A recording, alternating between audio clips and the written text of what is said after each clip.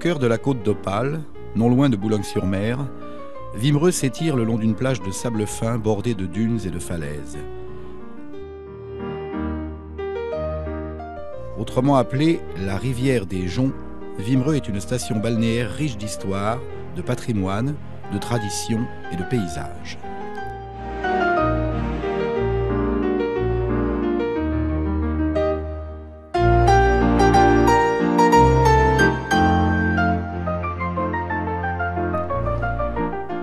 Sa proximité avec l'Angleterre a suscité beaucoup de rêves, d'espoir et d'ambition.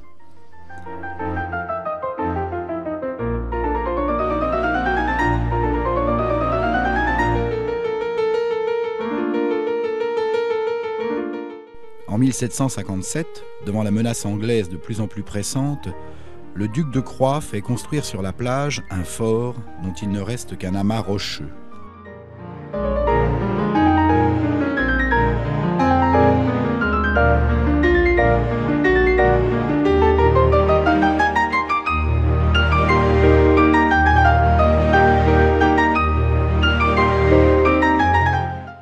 De sa vie, le duc de Croix s'était passionné pour l'incroyable aventure des frères Montgolfier et le nom de Pilâtre de Rosier ne lui était pas inconnu.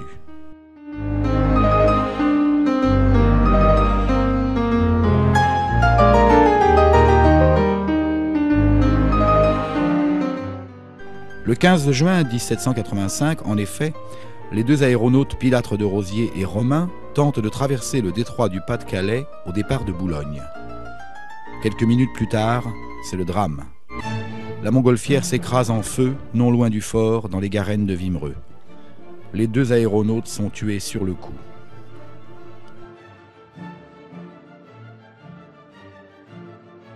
Victime de la première catastrophe aérienne, Jean-François Pilâtre de Rosier, chimiste et pharmacien, homme de passion et de science du siècle des Lumières, ainsi que son compagnon d'équipée Pierre-Ange Romain, ouvrait cependant la voie de l'aéronautique qui allait bouleverser l'échelle du temps. Le rêve d'Icare, celui de voler, était devenu une réalité. On était à quatre ans de la Révolution française, mais qui pouvait s'en douter?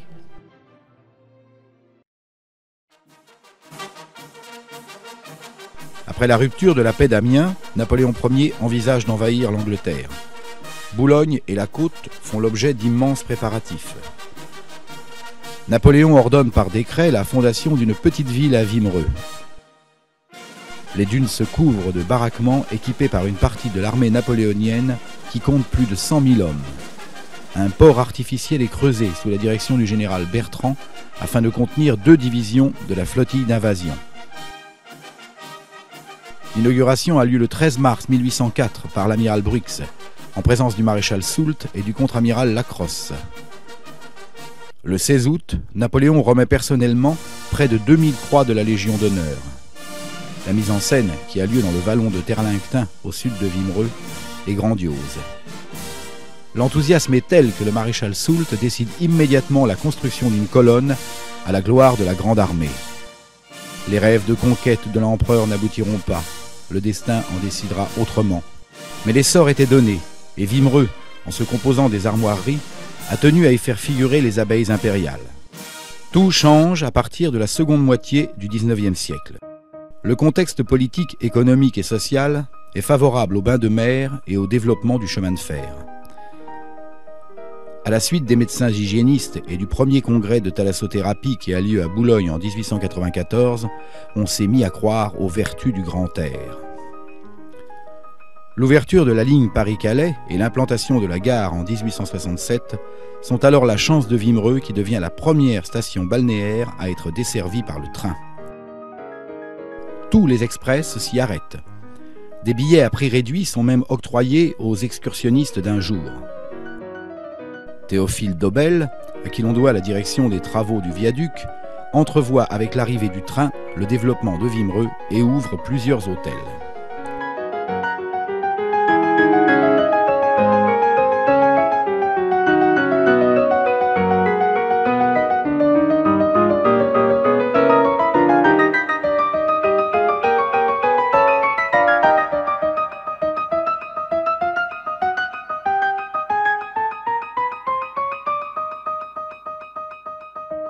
Devient la station à la mode.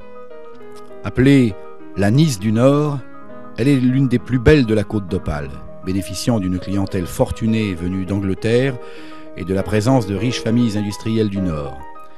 Le désir de liberté et de dépaysement qu'insuffle le bord de mer entraîne la construction de villas à un rythme effréné. Bourgeoises ou romantiques, d'inspiration médiévale ou exotique, ces villas incarnent le rêve, la folie, et sont conçues pour voir la mer et être vues.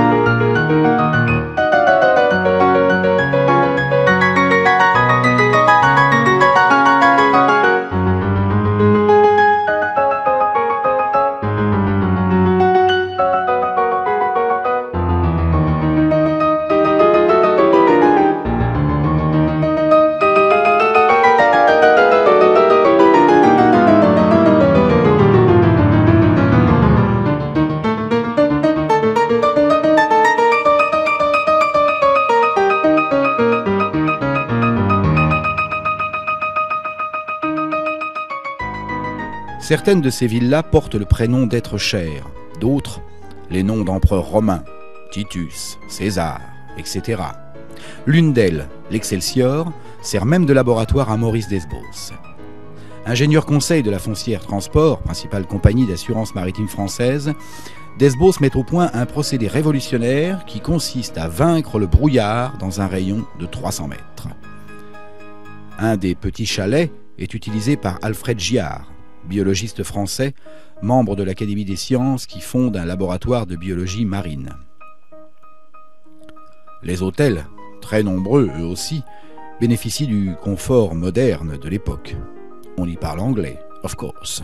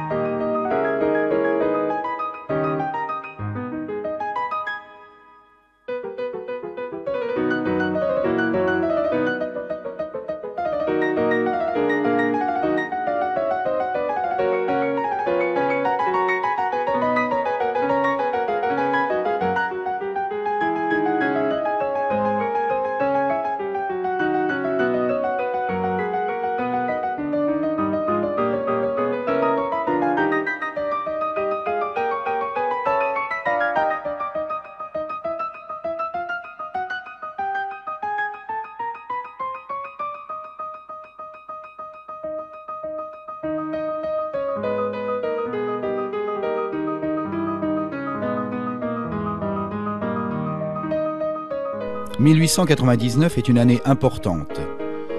Vimereux devient une municipalité indépendante de celle de Vimille. «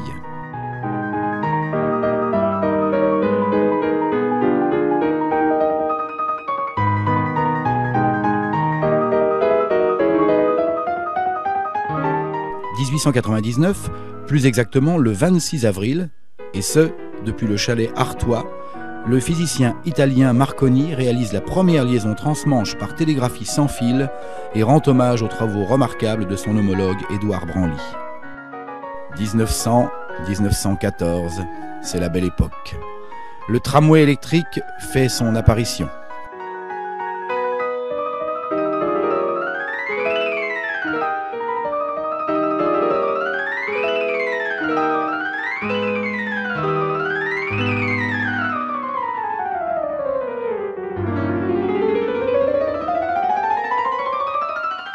L'église, construite en 1866, a été agrandie en 1904 et la nouvelle et vraie mairie a été inaugurée en 1907. Le train à propulsion continue sur route et voie ferrée et cahote jusqu'à Audrecel.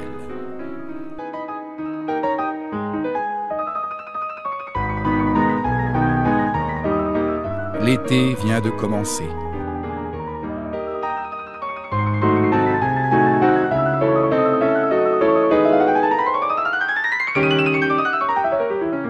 Plage est le paradis des enfants.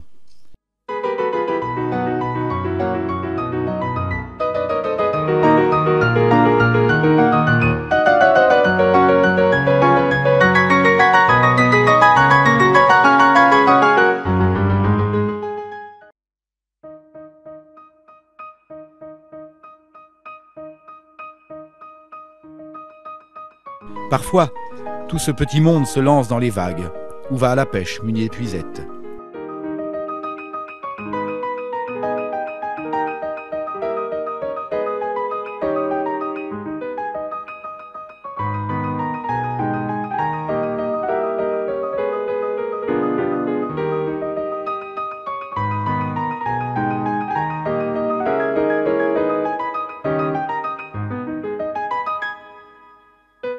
Certains préfèrent les promenades en mer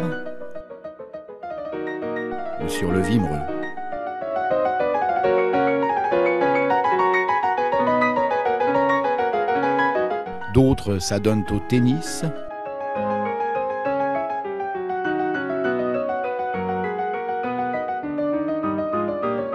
ou au golf.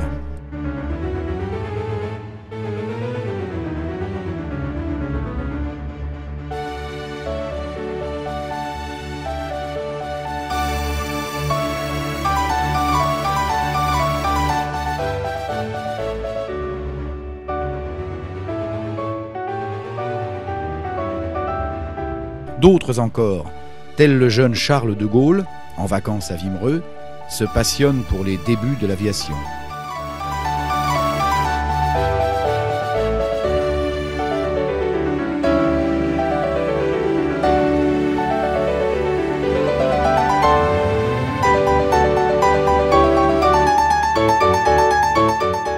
Le casino, situé sur la falaise, a transformé la vie estivale. Inauguré le 1er juillet 1903, il est le plus beau de la région.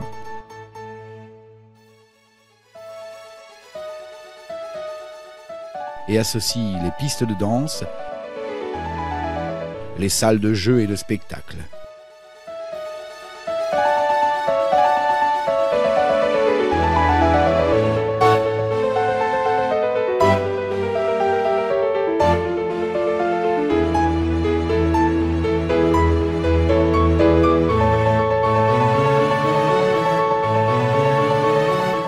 Théâtre est à la mode. Le cinéma y fait recette, ayant même à l'affiche des films anglais. Le splendide hôtel, juste à côté du casino, est lui un palace de 150 chambres, fréquenté notamment par la clientèle britannique. Le temps semble immuable et s'articule autour de plusieurs moments forts. Celui de l'absinthe, l'apéritif du tea time et des soirées de gala au casino.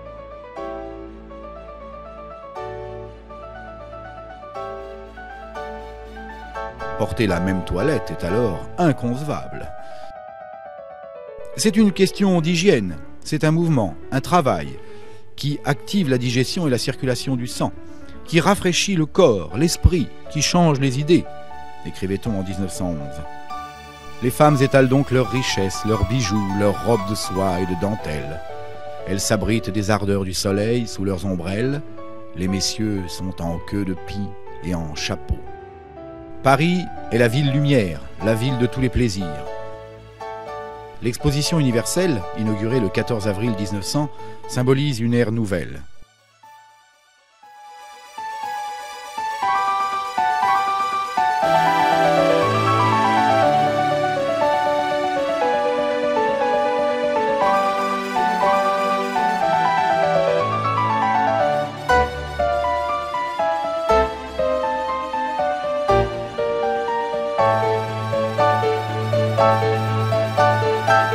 Est la troisième station climatique de France et compte environ 800 villas et près d'une cinquantaine d'hôtels. C'était des années heureuses. C'était le dernier bel été, avant longtemps. En effet, la belle époque qui se voulait insouciante se perd tragiquement dans les tranchées de la Première Guerre mondiale. Dès le début du conflit, la région est le siège d'une immense concentration de camps et d'hôpitaux du Commonwealth pour les blessés du front. Vimereux devient l'une des bases sanitaires britanniques la plus importante de France et la principale tête de pont sur le continent. Les infirmières et nurses sont nombreuses. Riches, elles conduisent. En 1915, le correspondant du Times écrivait L'ambulance automobile est à Boulogne aussi caractéristique que la gondole à Venise.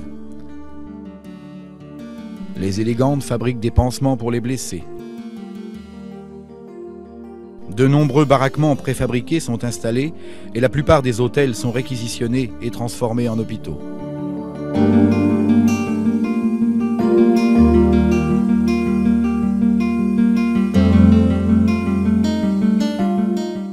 Fleming, qui découvrira plus tard la pénicilline, occupe le bâtiment 8 où étaient soignés les cas les plus contagieux. Le 12 janvier 1916, le grand hôtel prend feu. Heureusement, aucune victime n'est à déplorer, les blessés ayant été conduits la veille à Boulogne afin d'être rapatriés en Angleterre à bord d'un navire hôpital.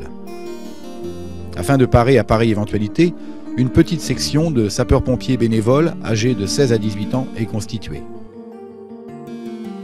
Deux mois plus tard, le 24 mars, le Sussex, la malposte venant de Folkestone à destination de Dieppe, est torpillé devant Boulogne par un sous-marin allemand. Parmi les nombreuses victimes figure notamment le célèbre compositeur et pianiste Enrique Granados. Rescapée du naufrage, la fille du psychologue américain de renom Mark Baldwin sera soignée à Vimereux. Quelques jours plus tard, un incident diplomatique majeur éclatera entre les États-Unis et l'Allemagne et un télégramme d'indignation sera même envoyé de Vimereux au président Wilson. La Grande Guerre, celle que l'on a appelée la der des der, sera terriblement meurtrière. Au cimetière de Vimereux reposent plus de 2800 officiers et soldats britanniques. Parmi les tombes, celle du lieutenant-colonel médecin de l'armée canadienne McCrae. Grièvement blessé à Ypres en 1918, évacué ensuite sur Vimereux, à l'ancien hôtel Splendide où il meurt le 29 janvier, le colonel euh, McCrae est l'auteur du célèbre poème Les coquelicots des Flandres. Le poème fera le tour du monde, la fleur deviendra l'emblème de la British Legion. Dans les champs de Flandre, les coquelicots ondulent parmi les tombes qui marquent notre place. Bravement, l'alouette continue à lancer sa chanson que l'on entend à peine dans le fracas des canons. Nous sommes les morts.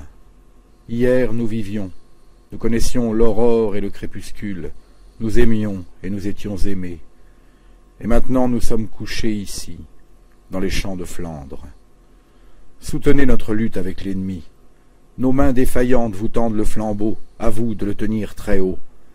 Si vous déméritez de nous qui mourrons, les coquelicots auront beau pousser dans les champs de Flandre, nous ne dormirons plus. Colonel John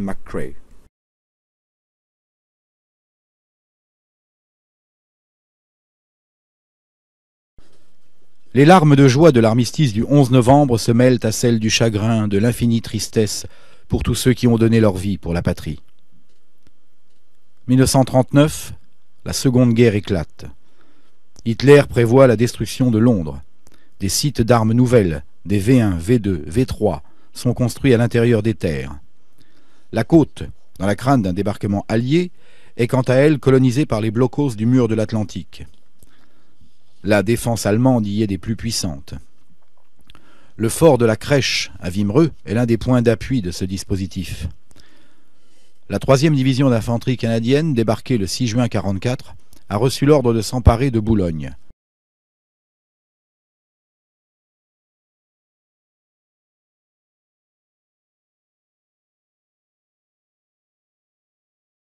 avant de se diriger vers Calais, la Belgique et les Pays-Bas. Certains de ces soldats avaient pour nom le sergent Roland Amiot, le soldat Ernest Roy.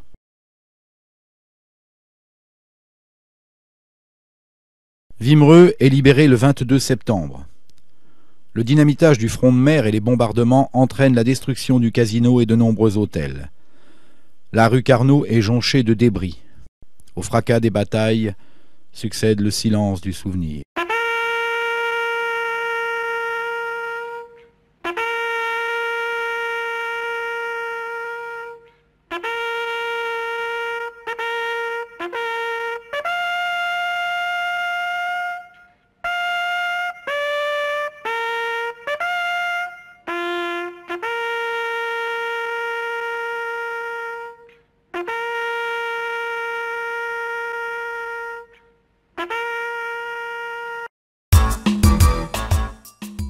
Aujourd'hui, même si les fastes d'antan se sont éteints doucement, Vimereux n'a rien perdu de son charme et bénéficie de nombreux atouts.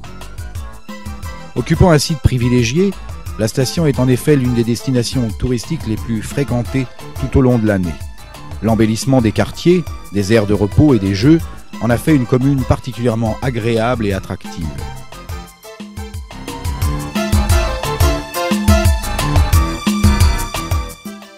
Situé en bordure du Vimereux, sur l'ancien port napoléonien, les jardins de la baie Saint-Jean proposent quant à eux un parcours original à fleur d'eau.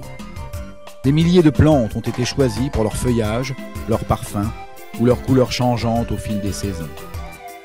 Espace de rêve, de plaisir, d'authenticité, Vimereux surprend et séduit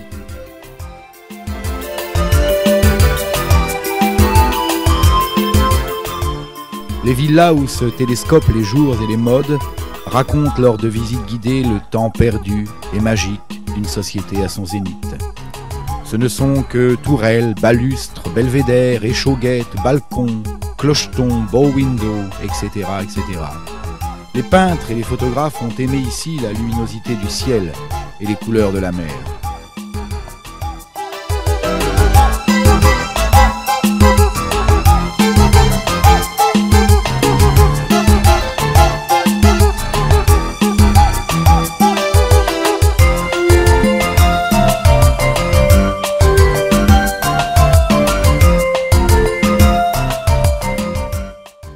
L'une des plus belles de la côte d'Opale.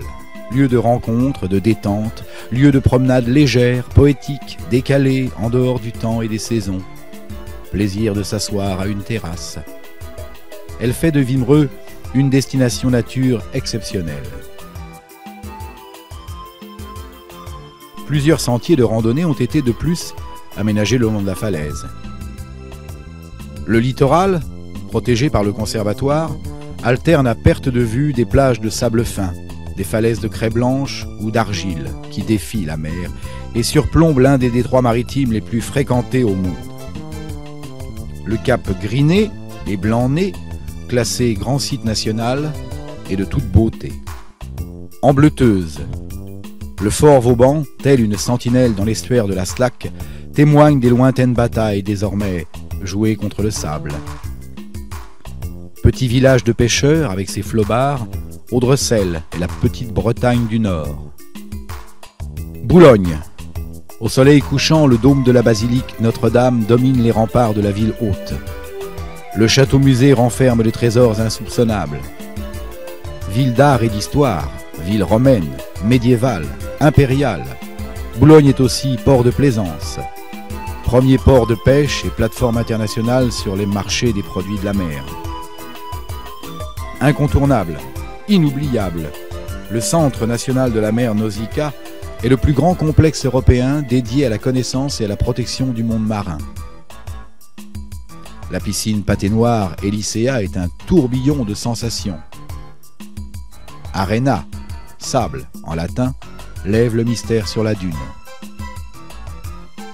Dans l'arrière-pays, relevant du parc naturel régional, la vallée du Denacre, dans l'ombre de ses rives touffues et de haies qui le bordent, abrite des petits châteaux, des maisons de maîtres ou d'anciens moulins à eau. La vallée du Vimereux, verdoyante, est elle aussi jalonnée de manoirs, de fermes ornées de pigeonniers, d'églises et de chapelles. À pied, à cheval, en VTT, entre amis ou en famille, l'émotion se décline ici dès l'aube jusqu'au coucher du soleil. Autre environnement, le sport. Sport d'équipe ou individuel, en salle ou en plein air, à la mer. La station a diversifié ses activités, d'où l'émergence de plusieurs associations. Les équipements sont nombreux et les rencontres de qualité. Les amateurs de sport nautique sont particulièrement gâtés. La baie Saint-Jean, qui la distingue des littoraux littéraires des autres plages du Nord et du Pas-de-Calais, offre en effet un superbe plan d'eau. La voile est devenue, d'ailleurs aujourd'hui, un des atouts sportifs et touristiques majeurs de la région. Situé boulevard Thirier, le club nautique et centre régional de voile est affilié à la Fédération française de voile ainsi qu'à celle de vol libre. Ouvert toute l'année, il est à la fois école de sport, équipe de club, loisirs sportifs et club de moussaillon.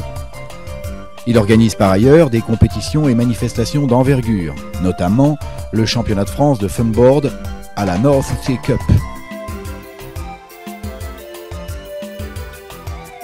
Dernier né des sports de glisse, le kitesurf procure des sensations toujours plus fortes.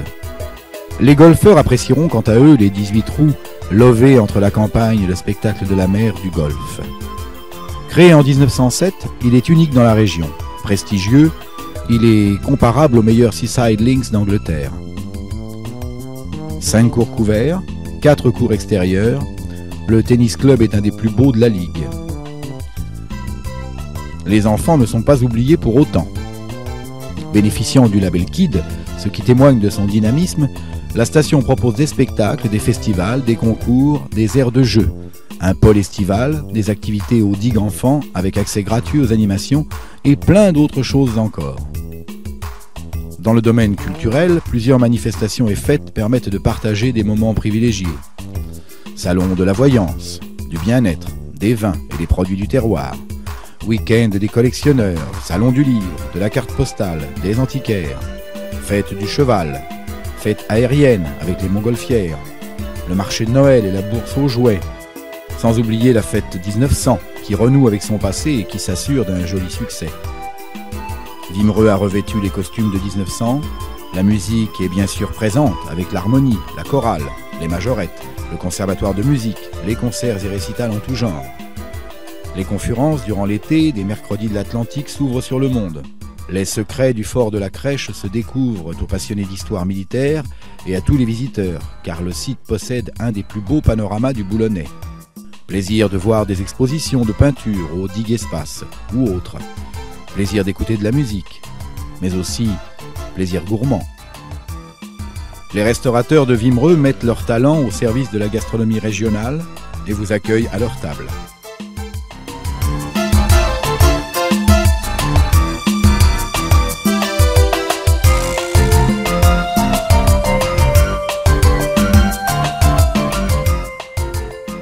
Matière d'hébergement, la station dispose d'établissements luxueux, d'hôtels traditionnels, de chambres d'hôtes de charme, de gîtes chaleureux, de deux campings de qualité, de location d'appartements ou de studios confortablement meublés. Enfin, les commerçants, entreprenants et dynamiques, sont ouverts le dimanche et contribuent toute l'année à l'animation de la ville qui compte environ 8000 habitants, 15 000 en saison. À seulement 10 minutes du tunnel sous la Manche et à 2h30 des trois capitales, Paris, Londres, Bruxelles, Vimereux est au cœur de l'Europe. Qui plus est, des liens étroits ont été tissés avec les villes jumelées Ami, Herne Bay dans le district de Canterbury en Angleterre et Schmallenberg en Allemagne. Le soir tombe peu à peu. l'eau endormie sur le sable scintille de milliards de paillettes. Sur la digue, les cabines de plage, sagement alignées, gardent précieusement les plus jolis souvenirs de vacances. Entre passé et modernité, entre terre et mer, entre ciel et vent, vimereux à ce petit supplément de rêve, nulle part ailleurs comparable, et qui fait ici toute la différence. À bientôt.